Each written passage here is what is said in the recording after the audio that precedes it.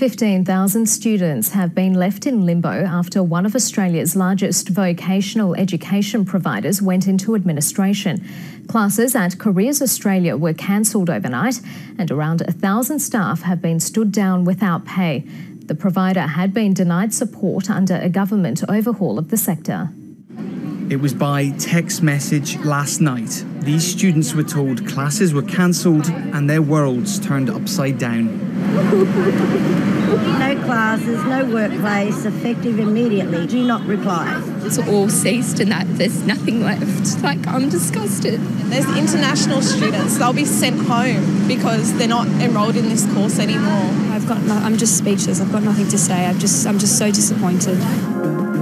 The company has been controversial. The ABC revealed they were targeting poor communities using so called free laptops. That's since been banned. Careers Australia ran afoul of what, what the standards were expected of in the industry, but they were working hard to fix it. Uh, I guess government's made a decision. Last month, the federal government denied Careers Australia access to its new vocational education scheme because of its poor track record in completion rates and recruitment processes.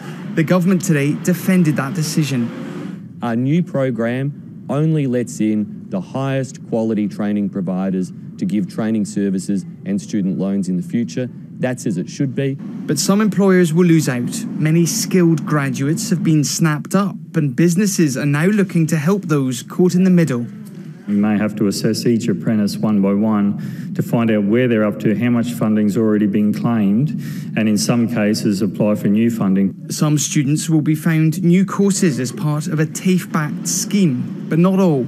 We do understand that it could be quite complex as we try to sort out which area of government needs to uh, look after them. Students today received this document. It warns them they must still pay for classes that are complete and that they will not be entitled to a full refund for any incomplete courses, courses they paid thousands of dollars for.